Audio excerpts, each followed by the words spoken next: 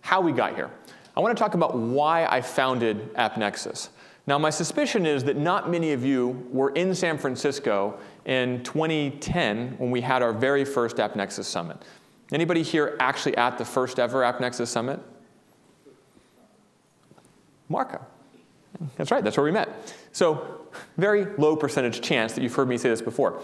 So, I started AppNexus because after we sold Right Media to Yahoo, I retired. I went to the beach, I went to Spain, I went to Morocco, I went to Cuba. I was very, very happy. But every time I would return to the States, my phone would ring and someone would ask me, hey, I'm using Right Media and there's this one thing I want to do and I can't quite figure out how to do it.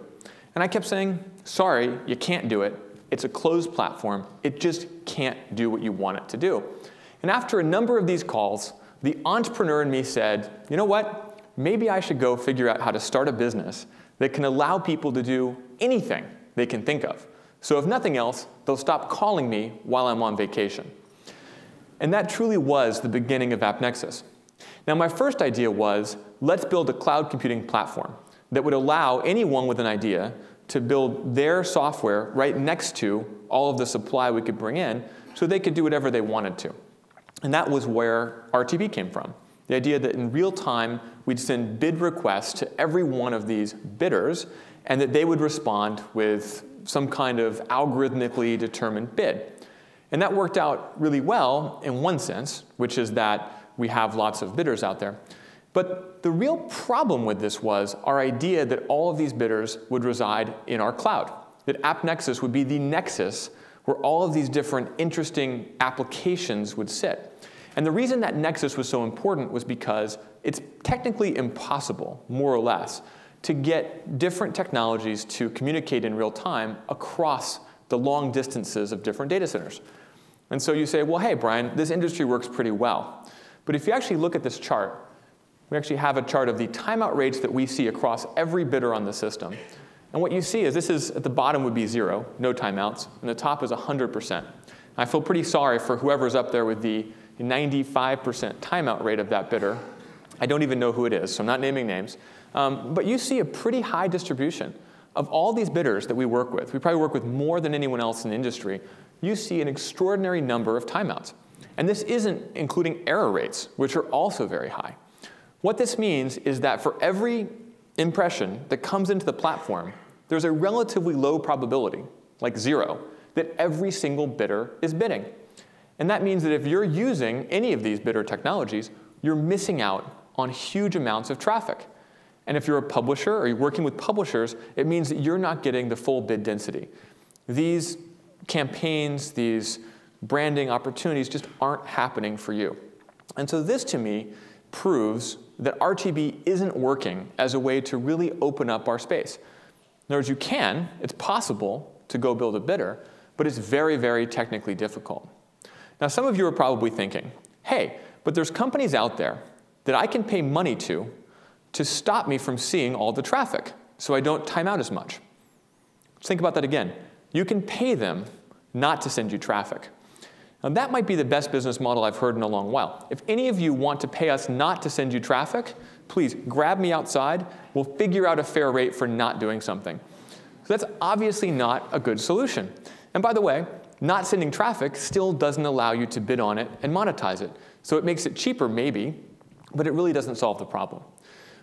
One interesting fact for those of you who actually have gone down the path of building bidders is that it's very expensive to actually build a bidder.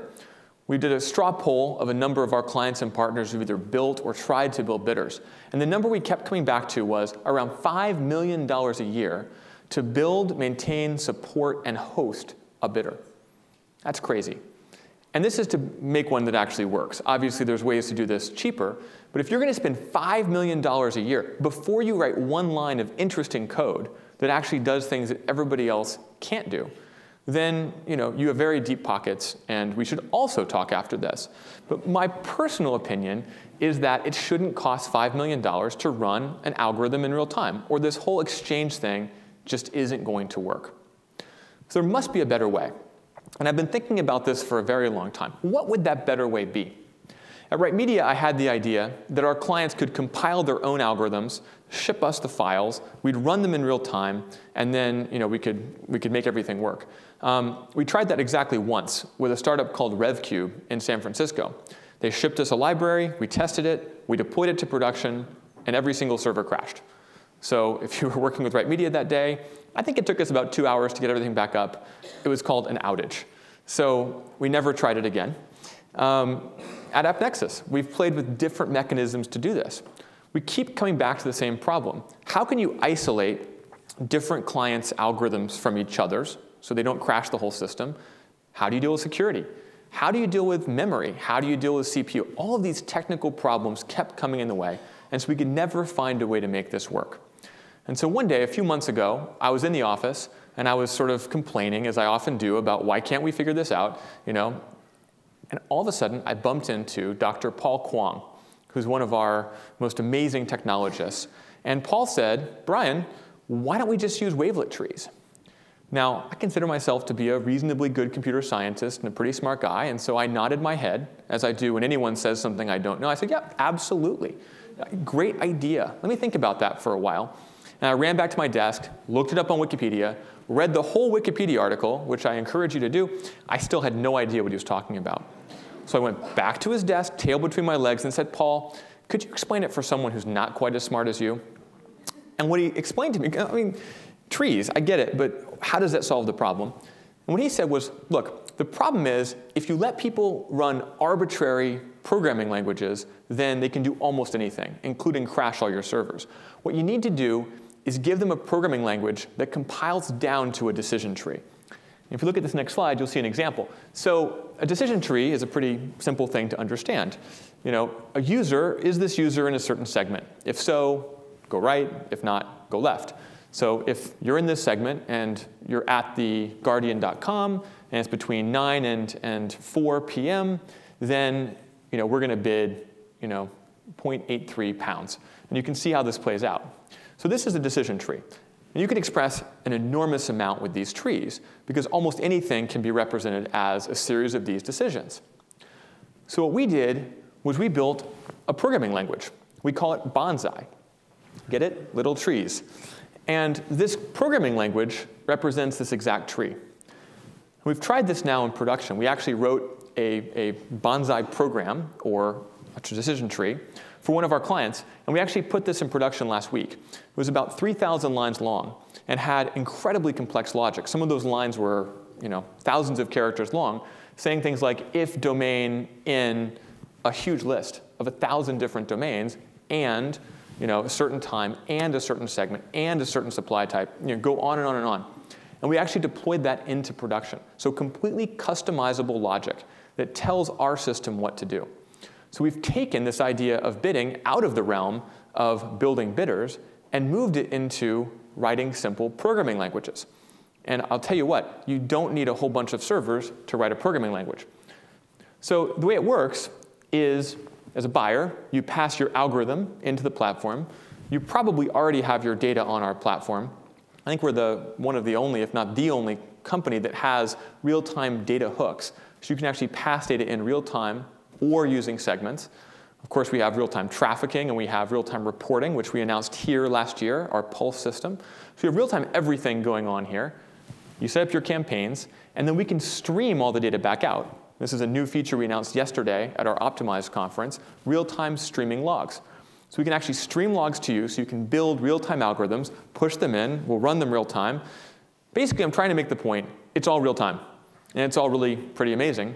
And this in the middle is where we execute your algorithm. So in every one of the 120 billion impressions we see every day, we're going to execute your little program.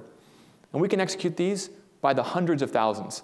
Today we have about 1.4 million campaigns live on the system and active. And we can put these trees into all of them because they're that fast to execute. And at least so far, you know, knock on wood, we haven't crashed the whole internet yet. And we've been doing this live for a week. So we call this is the AppNexus programmable bidder, meaning that you can program our bidder to do whatever you can think of. You can innovate, you can be creative, you can do all the things you do now, but you don't have to spend millions of dollars to build a bidder. You don't have to license something to not see bids.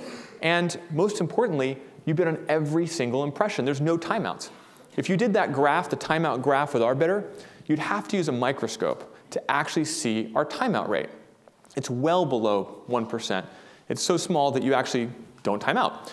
And, and this means you're getting to bid on more impressions. You also take full benefit of our cookie match. We actually have very high overlap with every audience out there. So it means you don't have to worry about you know, how many of your users actually are found on different platforms. Of course, you also have a user interface that you get for free as part of our platform. You have a user experience team, you have reporting, you have every feature that our platform has, and you still get to build your own secret sauce. Because that's what it's all about. You heard Michael talk about it. If you aren't differentiating, then you don't matter. And if you're not focusing your effort on that differentiation, you're wasting your money and you're wasting your time. And we're at a moment in this industry where none of us has time or money to waste. So my advice to you, go back to your offices, ask your team, what could we do if we didn't have to worry about the cost and complexity of building a bidder, and we could just go build algorithms to make media do amazing things? AppNexus Programmable Bidder. We'll have this alpha now. We'll have it out soon for all of you.